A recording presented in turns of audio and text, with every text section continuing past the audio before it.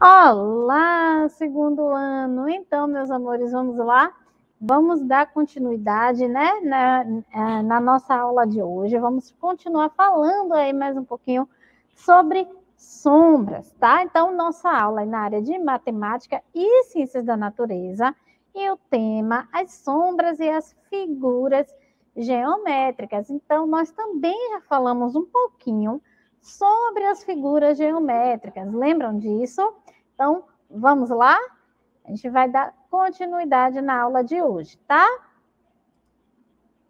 Então, para começar, vai passar um vídeo, tá? Então, presta bastante atenção, tá? O programa a seguir tem classificação indicativa livre.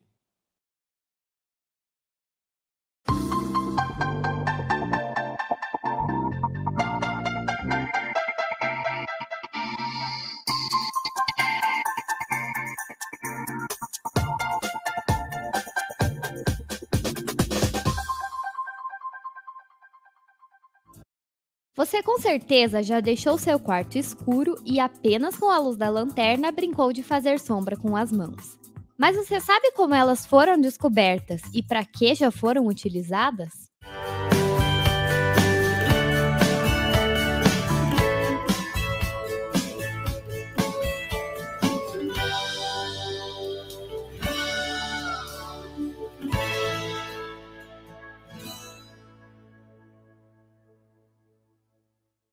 As sombras já eram usadas desde a pré-história como uma espécie de relógio. Foi a partir disso que foram criados os relógios de sol. Os primeiros seres humanos perceberam fenômenos como o sol a pino ao meio-dia e o fato de que ele não projetava sombras no chão. Na Grécia e Roma antiga, as pessoas chegavam a marcar compromissos de acordo com o tamanho que estaria sua sombra. A sombra também foi muito usada em apresentações artísticas, como o teatro de sombras que tem origens milenares na China e em partes do mundo oriental. Se você ficou interessado e quer fazer seu próprio teatro de sombras, é só seguir esse passo a passo. Você vai precisar de uma caixa de papelão, papel manteiga, cola, régua, estilete e lanterna.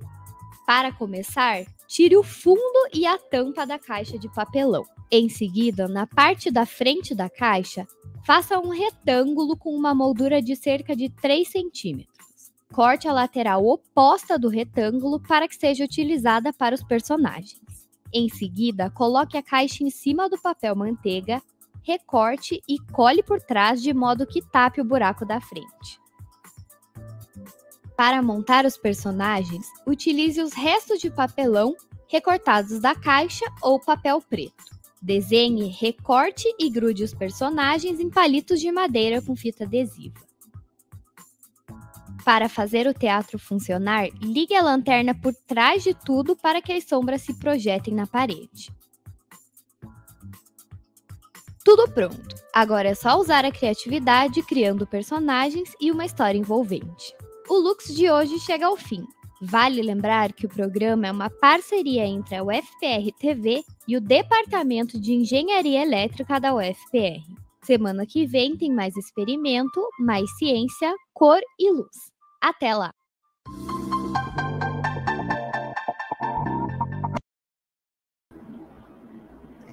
E aí, segundo ano, viram que legal, como é fácil ali também, né?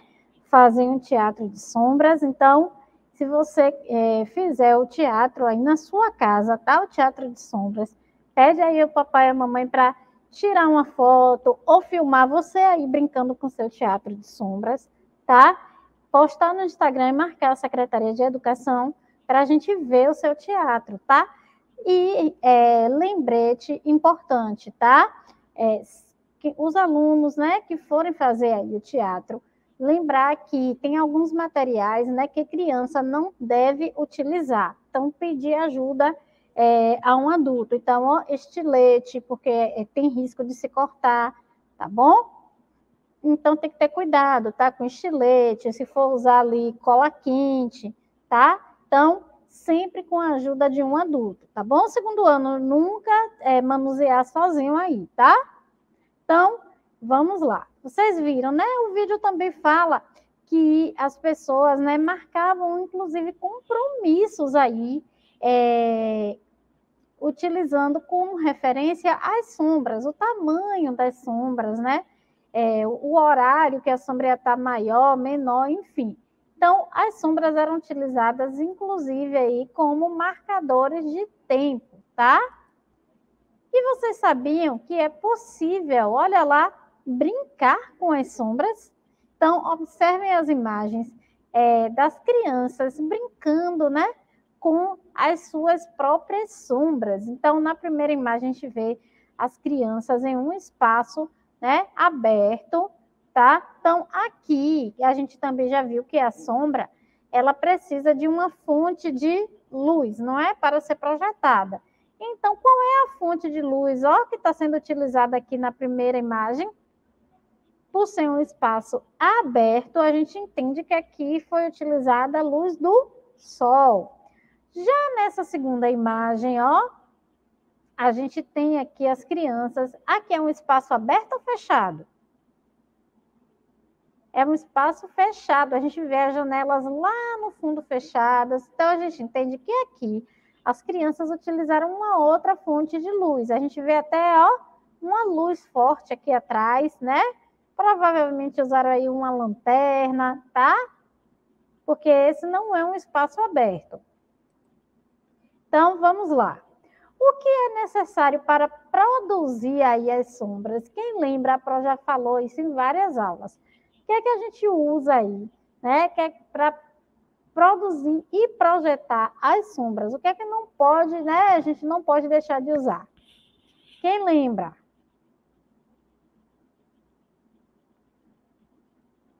Então, o que a gente é, não pode deixar de usar, o que é necessário é a fonte de luz, tá? Então, sempre que a gente quiser é, fazer aí é, projeção de sombra, inclusive quem for fazer o seu teatro de sombras, né?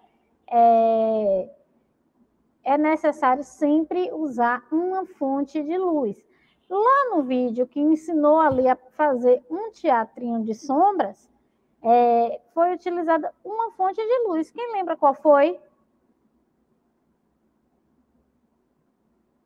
Foi uma lanterna, né?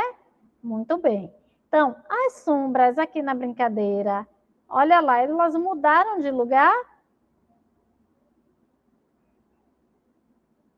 Então, olha lá.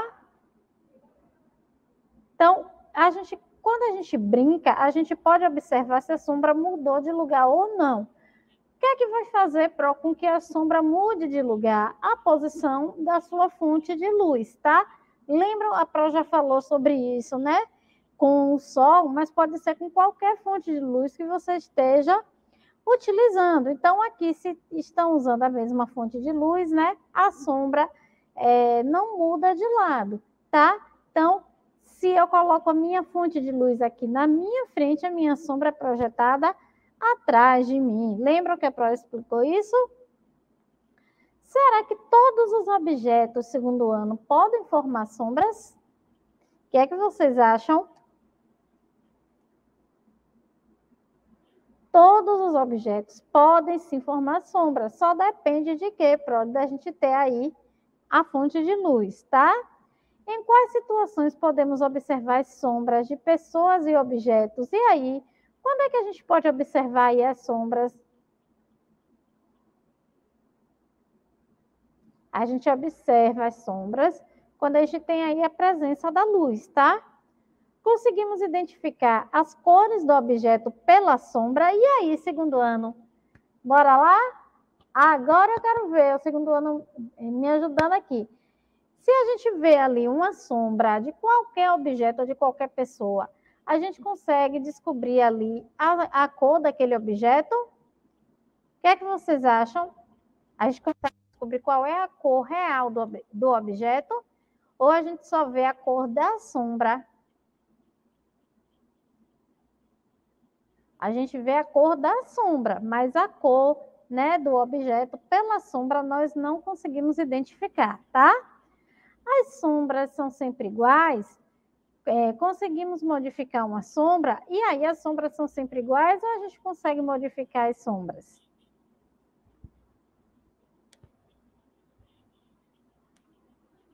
As sombras não são iguais, mesmo sendo o mesmo objeto, mesmo sendo a nossa própria sombra, se a gente a depender, né, de como a gente colocou ali aquela fonte de luz ou se for o sol, né? A depender da posição do sol ali no céu, a sombra pode ficar assim diferente, né? Pode mudar ali de posição, pode ficar maior, pode ficar menor, certo? Você já observou as sombras produzidas pela Lua? Quem já viu aí as sombras da Lua? A prova vai mostrar também, tá? As sombras aí produzidas pela Lua, tá bom? Então, olha lá, as crianças aí, ó, é, produzindo ali, né, projetando as sombras dos brinquedos, estão vendo? Então, olha lá, para produzirmos uma sombra, é necessário utilizar uma fonte de luz, que pode ser o sol, a lâmpada, uma lanterna, uma vela, tá? Então, na imagem que a prova vai mostrar agora, qual fonte de luz está sendo utilizada para produzir a sombra desse coqueiro que vai aparecer agora na imagem? Olha lá. Estão vendo aqui a sombra do coqueiro sendo projetada aqui na areia. E aí, segundo ano, é, o que a Pro quer saber é qual é a fonte de luz que foi utilizada aqui para produzir a sombra e é, produzir e projetar aí a sombra desse coqueiro. O que é que o segundo ano acha? Então, aí foi utilizada a luz do sol. Como é que a gente sabe, Pro, que nesse caso foi a luz do sol? Porque aqui é uma praia, né? E a praia é um espaço aberto que tem ali a presença do sol que é uma fonte de luz, tá? Então, a fonte de luz utilizada aí, no caso desse coqueiro, foi justamente a luz do sol, tá bom? E quando a gente fala aí das luzes utilizadas para produzir, né, e projetar sombras, a gente é, lembra, né, de algumas luzes, o sol, a lâmpada, a lanterna, mas vocês sabiam que essas luzes podem ser classificadas? Exatamente, elas podem ser classificadas como naturais ou artificiais. Então, naturais são aquelas luzes né, que vêm da natureza, tá? No caso aqui, a, a luz natural é o sol, tá? Que é um elemento aí da natureza. E quais são as luzes artificiais? Pro aquelas que são fabricadas. Então, a lâmpada, a lanterna, a vela, a lanterna do celular. Por que pro elas são artificiais? Porque são luzes aí que foram né, produzidas. Ela não é uma luz natural, ela não vem da natureza, tá? A lâmpada, nós, é, a lâmpada ela é fabricada, ela produz luz, tá? Mas ela é fabricada, diferente do sol. O sol já está ali na natureza, tá? É por isso que essas, essas luzes que são é, fabricadas são chamadas de artificiais, tá bom? Então, olha lá, o sol, que é a nossa fonte, né, natural de luz, tá? A lanterna, poderia ser também a lanterna do celular, tá? A vela. Bom, e qual é a cor das sombras, Pro? Nós já vimos que através da sombra a gente não consegue descobrir a cor do objeto que está sendo projetado, tá? E por que, que isso acontece? Porque as sombras são sempre projetadas com cores escuras, tá?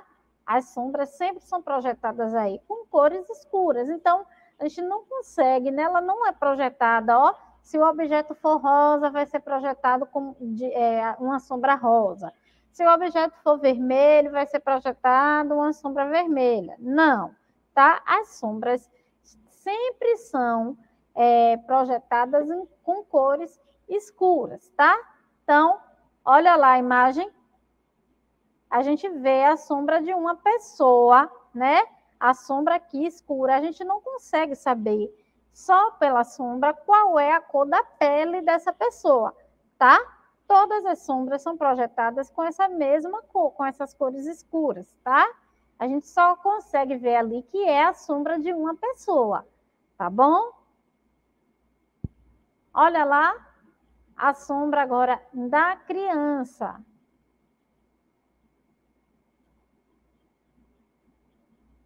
Olha lá.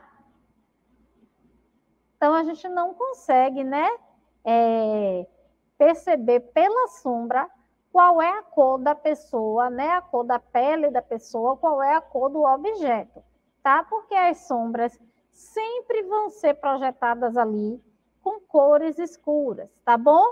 Inclusive, ó, roupa, a gente vê aqui que é uma mulher, ela tá aqui, né, com um vestido de praia.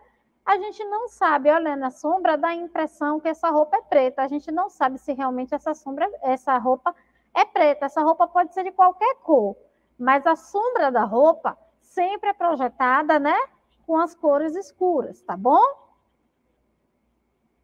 E olha lá, a gente tem agora, segundo ano, ó, as é, sombras da Lua. Vocês sabiam que a Lua, né, também tem sombra? Então, a depender de como a Lua é iluminada ali pela, pelo Sol, que é a fonte, né, de, de luz ali do nosso sistema, que é o sistema solar, a sombra também, é, a Lua também produz sombra, tá?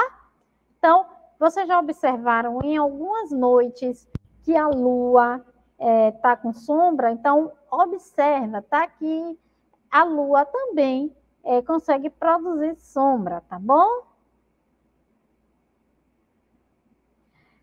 Será que os formatos das sombras são iguais aos formatos dos objetos? Será que podemos identificar figuras geométricas nas sombras? E aí, segundo ano, nós já vimos, né, que o tamanho da sombra pode mudar, tá? Nós já vimos também é, que a posição da sombra pode mudar, porque vai depender também da posição né, da sua fonte de luz, tá? Nós já vimos com relação à cor que a sombra sempre é projetada em cores escuras, independente da cor do objeto, do que você está ali, né, projetando. Mas e com relação ao formato? Será que se eu projetasse, ó, segundo ano aqui, a minha mão, ó, será que se eu projetar ali a sombra da minha mão, ele vai vir com o formato mesmo da minha mão ou vai vir com outro formato? Então, o formato não muda, vai ser o mesmo formato, certo? E será que a gente consegue identificar nas sombras as figuras geométricas? Vocês acham que a gente consegue identificar, segundo ano, nas sombras, figuras geométricas. Então, olha lá, a Pro trouxe aqui é, essa imagem da criança brincando, tá? E aí, vamos observar o que é que ela está é, tá fazendo aí, né? Ela está com alguns brinquedos, ela está brincando no local onde ela está brincando. Tem um, uma fonte de luz aí, tá? Essa fonte de luz provavelmente está aqui na, nesse lado aqui, ó, porque a sombra está sendo projetada aqui. Então, a fonte de luz tem que estar aqui na frente, tá? E observem, é, olhe essa sombra. Essa sombra aqui, ela lembra qual, qual figura geométrica? E aí, quem lembra qual é o nome dessa figura geométrica? é o triângulo. E essa figura aqui, que a criança está até cobrindo aqui, ó, com giz de cera, como é o nome dessa figura? Retângulo, muito bem. Então, a gente consegue identificar aqui, né, que são objetos, ó, um objeto aqui que tem um formato retangular, tá? Um objeto aqui que tem um formato triangular, certo?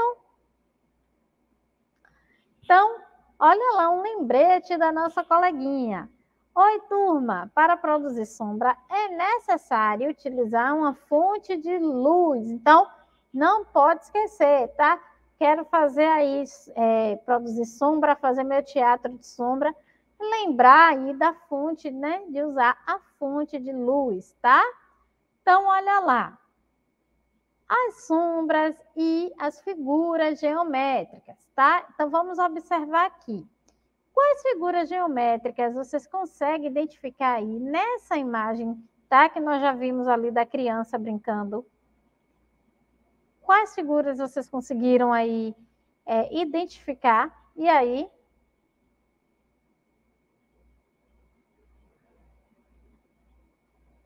Então, olha lá, o triângulo, o retângulo, que ele está até cobrindo, e o quadrado, né? A gente conseguiu identificar aí três figuras diferentes, tá bom? Então, quando a gente fala de triângulo, então vamos falar um pouquinho aí sobre os triângulos. Então, é, quais são, né? Vamos observar aí esse triângulo, né? E aí a pergunta: quais são as características do triângulo? E aí, segundo ano, quais são as características do triângulo?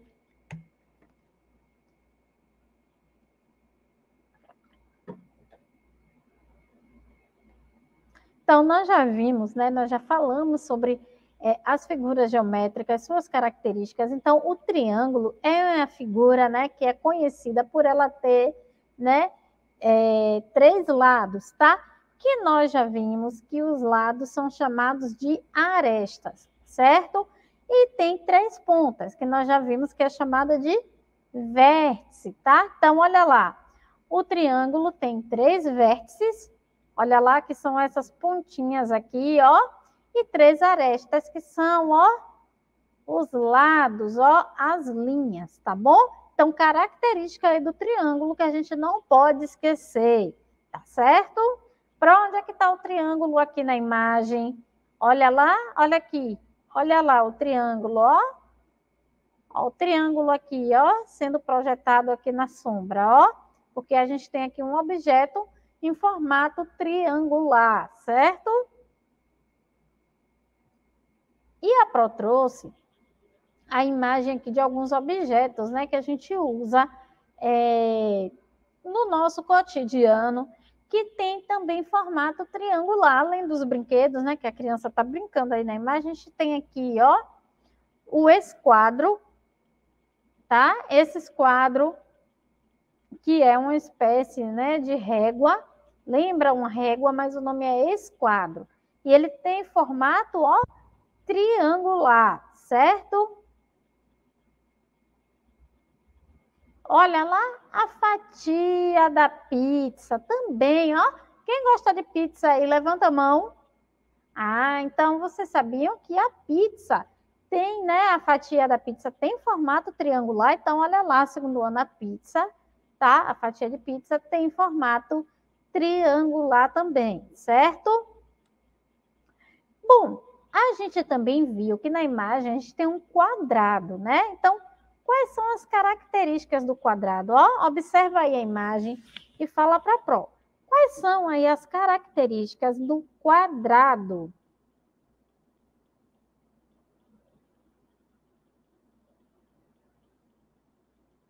Então, o quadrado é a figura né, geométrica que tem os quatro lados do mesmo tamanho, os quatro lados ali iguaizinhos, tá?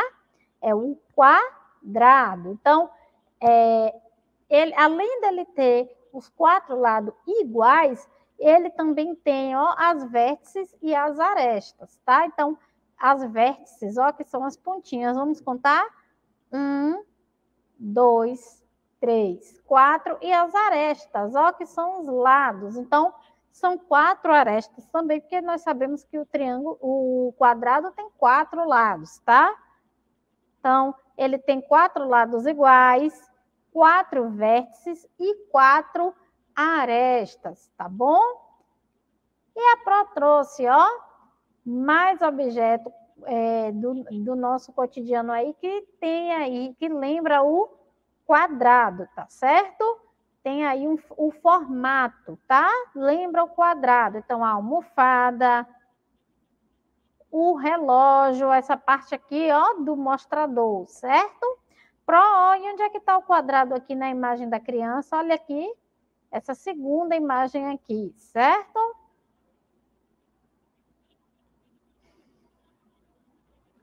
Bom, vamos lá.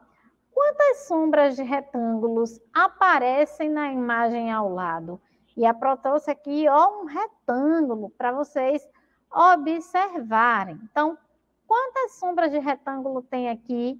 Então, olha lá o retângulo que é a figura, né? A, a figura geométrica ali, que a criança está cobrindo ali com um lápis colorido, tá bom? Então, a gente tem uma imagem aí. Ô, Pro, quais são as características, né? Então, tem uma sombra ali de retângulo. Pro, quais são as, as é, características do retângulo? O que é que diferencia o retângulo do quadrado, já que são duas figuras, né, que até se parecem um pouco, para não atrapalhar. Então, as características do triângulo, presta atenção, ó. O, do retângulo, perdão, retângulo, ele também tem quatro lados, assim como o quadrado. Só que com a diferença que o quadrado tem quatro lados, o quê? Iguais. O retângulo não tem quatro lados iguais. Observem que esses dois lados aqui são bem grandes, ó. Esses dois lados aqui são menores, então não são quatro lados iguais. Esse lado é igual a esse. Mas esses dois lados não são igual a esse lado aqui, ó. Esse lado é diferente desse, porque é um, esse lado é menor. Então, é isso que vai diferenciar. No, no quadrado, não. Deixa eu voltar aqui para vocês verem, ó. O quadrado tem os quatro lados iguais, tá bom? Assim como no quadrado, ó, o retângulo também tem quatro vértices, né? Que são as pontinhas, ó. Um, dois, três, quatro e quatro arestas. Arestas de tamanhos diferentes, tá? Aí você pode falar, oh, mas esse lado não é igual a esse? Sim. Esses dois lados são iguais, esse também é igual a esse, tá? Mas o triângulo tem os quatro lados iguais, ele não tem dois lados iguais e dois diferentes, tá bom? E olha lá, a Pro trouxe, né? Alguns objetos aí que lembram o retângulo, tem o formato, né, retangular. Então, o livro, certo? A mesa, olha lá a mesa, a mesinha de centro, tá? Bom, outra figura geométrica que nós já vimos, né, foi o círculo, tá? É, pro, é, qual é a característica do círculo? O círculo ele não apareceu aqui, né, nos brinquedos da criança, mas é uma figura que também é bem conhecida. Então, qual é o formato, qual é a característica do círculo?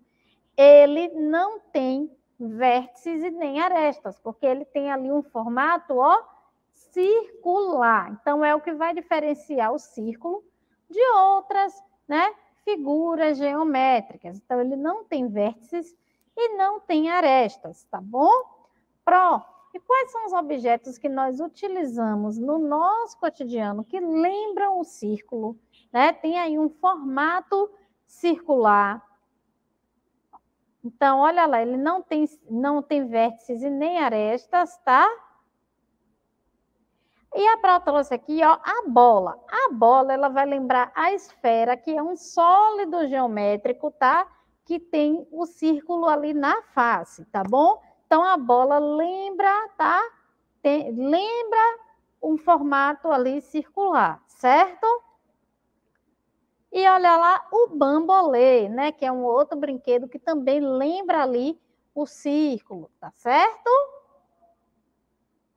Então, segundo ano, gostaram da aula de hoje? Então, as recomendações que a Pro sempre deixa aqui no final, tá? Se ficou ainda alguma dúvida sobre essa aula, você pode ir lá na playlist do segundo ano, no canal né, da Secretaria de Educação no YouTube, assistir novamente, tá? As aulas sempre ficam gravadas. Ou você também pode anotar e perguntar ao seu professor na escola. Ah, e um lembrete: quem produzir aí o Teatro de Sombras, não esquece de pedir ao papai e à mamãe para tirar uma foto ou filmar, postar no Instagram, marcar a Secretaria de Educação para a gente ver o seu teatrinho, tá? E lembrando mais uma vez, tá? Porque prevenção nunca é demais. É, quem for produzir o teatro, tá? Não utilizar objetos perigosos sem a supervisão de um adulto. Nada ali, viu? De pegar enchilete, cola quente, sem um adulto aí perto de vocês, tá bom? Beijo e até a próxima aula. Tchau, tchau.